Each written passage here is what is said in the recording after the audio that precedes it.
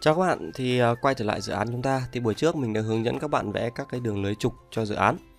Thế bây giờ buổi này mình sẽ hướng dẫn các bạn đó là làm sao để chúng ta có thể thiết lập một số cái liên quan đến hiển thị của lưới cột và của level Tức là của grid và level đó Đầu tiên là các bạn thấy là ở mặt bằng này này Các bạn thấy những cái đường grid này Những đường lưới trục này Nó các bạn có thể làm gì với nó? Số 1 là các bạn có thể là kích vào Các bạn kích vào đường grid này này Thì các bạn có thể kéo cái mũi tròn này, kéo hình tròn này, giữ chuột kéo ra để thay đổi cái độ dài của cái grid đó. Đây này. Thế các bạn thấy là nó tự động nó giống nhau, nên nó cũng khá là tiện cho bạn kéo. Đó các bạn thấy là nó giống nhau.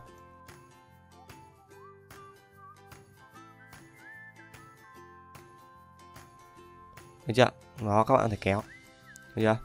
Ngoài ra, ví dụ các bạn thấy ở đây là các bạn có thể tương tự như cái đường level các bạn có thể ất bẻ nó ra như này, nếu các bạn muốn. Ngoài ra thì các bạn có thể kích chọn cái đường grid này. Các bạn chọn đường grid này. Và các bạn thấy bên này nó có thuộc tính của đường grid.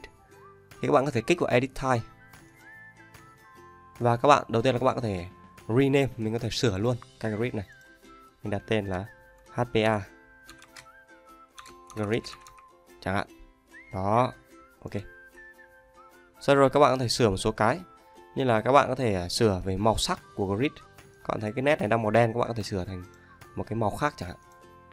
Đó. Được chưa? Hay là loại nét. Đây là đang là nét grid line. Thì các bạn có thể thay các loại nét như là nét đứt hoặc nét chấm than hay nét gì đó. Nét chấm rồi nét dot chưa? Ví dụ như hidden này.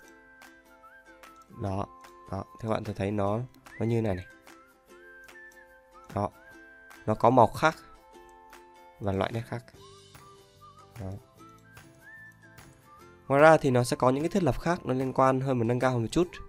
Thì cái này thì chắc là sau khi sau này các bạn học về sâu về triển khai thì các bạn sẽ được học thêm, được chưa?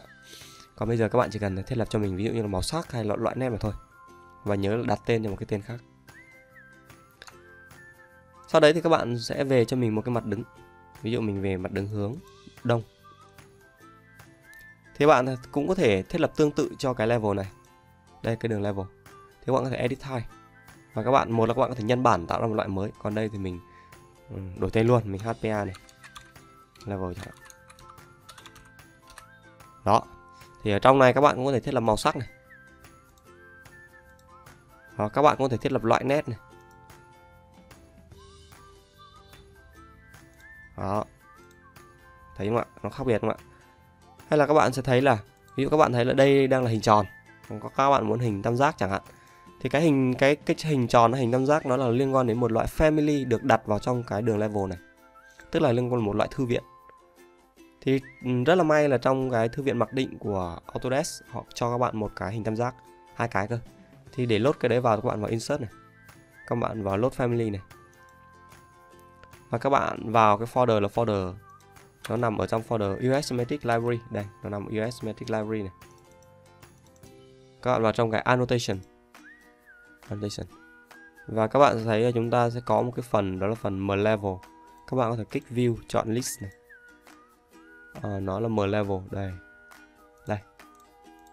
Đấy các bạn nhìn đây này. Mình nhìn đây nhá. Đây nó có hai loại hình tam giác. Ví dụ mình chọn cái này chẳng hạn. Hoặc cái này mình chọn cái này đi. Mình lốt vào đấy sau đấy rồi các bạn vào chọn cái đường level này này edit type này sổ xuống đây này và đây chính là cái chúng ta vừa lốt vào. Ok chưa? Đây. Đấy. Tiếp theo là các bạn có thể là tất nhiên là các bạn có thể kích chọn cái đường level này và các bạn kéo vào. Nó không nhất thiết phải dài như này đúng không ạ? Công trình của ta nó chỉ nhỏ này thôi. Đấy, các bạn kích vào hình tròn này nhé kéo. Đó kéo. Đó. và đường level thì các bạn cũng thể đó là uh, các bạn thấy là chúng ta hiện tại chỉ có một cái biểu tượng hình tam giác ở bên này. Bạn nào muốn nó có cả hai bên thì các bạn tích cho mình cả cái này nữa. Đó. Thấy chưa? Ừ. Nó rất là dễ đúng không? Nhưng thường thì mình chỉ để một bên thôi. Đó. ở cái mặt đứng này thì các bạn lưu ý cho mình một cái đó là cái với cái đường grid này này.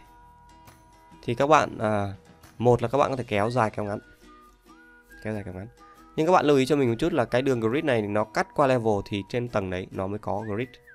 Tức là ví dụ các bạn thấy mình kéo xuống phía dưới này và nó không cắt qua tầng mái. Thì các bạn sẽ thấy là tầng mái này tầng mái tầng mái. À, tầng tung. À đây mình lên tầng mái này. thì các bạn sẽ thấy không còn lưới cột một hai nữa. Không thấy đâu nữa. Đã, được chưa các bạn lưu ý cho mình. À, nên kéo cái này lên. Đó nó cắt qua. Còn giả sử trong một trường hợp nào đó mà các bạn lên tầng trên ví dụ các bạn thấy công trình này ấy, ở mặt đứng hướng hướng nam cơ. Cái công trình này này lưới cột E ở tầng trên nó không có nữa. Ví dụ các bạn lên tầng mái này các bạn sẽ không có lưới cột E đâu. Đó các bạn chỉ dừng ở lưới cột D thôi. Thì các bạn sẽ à, kéo cái thằng này xuống. Các bạn chọn thằng này này. Bỏ tích nó đi này. Kéo nó xuống đó nó chỉ đến lưới cột tầng 3 thôi. Thì các bạn sẽ thấy lúc đấy các bạn về tầng 3 này các bạn sẽ có lưới cột E nhưng các bạn lên tầng mái các bạn không còn lưới cột E nữa. Được chưa đó cái này các bạn chỉ cần lưu ý cho mình đó là các bạn phải kéo qua kéo qua giao cắt với cái đường level thì ở tầng đó nó mới có lưới cột đó. Đó, thấy chưa sau rồi thì các bạn có thể đó là các bạn à, muốn cái thằng hình tròn này cái biểu tượng này nó xuống dưới này. Thì các bạn edit type này chọn một cái đường này hết thai và đây thì các bạn chọn cho mình là bottom. Thấy chưa apply này. Thì nó sẽ xuống phía dưới. Đúng. và các bạn kéo lại. Đó. ngoài ra thì các bạn thấy ở đây nhé các bạn thấy nó cứ bị nhúm nhít thế này, các bạn lại ất bầu thôi. Ất bầu này. Đó. Ất bầu này. Đó. rất là dễ, đúng không ạ?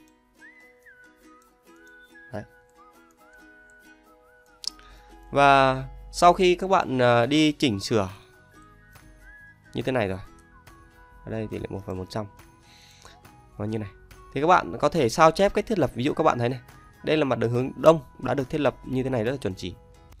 Sang mặt đường hướng tây tức là mặt đường đối diện với nó thì các bạn thấy nó không được chuẩn chỉ lắm. Đó. Thì các bạn có thể sao chép các thiết lập của hướng đông cho hướng tây và sao chép các thiết lập của hướng bắc cho hướng nam. Ở à, hướng bắc cho hướng nam. Thì làm thế nào? Đó là các bạn có thể quét chuột những cái thằng level này. Thì nó có cái lệnh là lệnh pro, pro, propagate extend này. Các bạn kích vào đây. Sau đấy các bạn chọn cho mình là cái elevation south. Đó ok. Các bạn về sau các bạn thấy này. Đó. Nó thiết lập giống này. Thấy không ạ? Tương tự với nó x chẳng hạn. Mình chọn hết đống này. Kích vào đây. Ok. Các bạn thấy đấy đó. Tất nhiên ở đây nó có cái file kết nên nó nhìn hơi nhúm nhít tí. Cái file kết này chỉ để dựng hình thôi nên các bạn kệ nó cái đã. Nhưng các bạn hiểu chúng ta đã thiết lập được chính xác rồi. Và tương tự thì nếu các bạn nào mà có thời gian các bạn có thể đi ất ebo cái này nữa. Như này. Đó. Nhưng mà thường thì chắc là các bạn cũng chưa cần lắm đâu.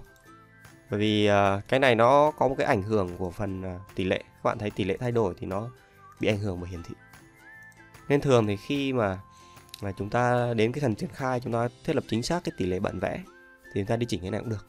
Tuy nhiên trong clip này mình có hướng dẫn qua các bạn để các bạn trong quá trình các bạn làm dựng hình các bạn nhìn nó được thuận mắt hơn và được cái hài hòa hơn. Được chưa? Như vậy thì trong clip này mình đã hướng dẫn các bạn một số cái thiết lập cơ bản của grid và level để giúp các bạn à, có thể bố cục cái bản vẽ bố cục cái view nhìn một cách thuận tiện để phục vụ các bạn dựng hình và sau này là triển khai một cách tốt nhất xin chào và hẹn gặp lại các bạn trong các clip lần sau.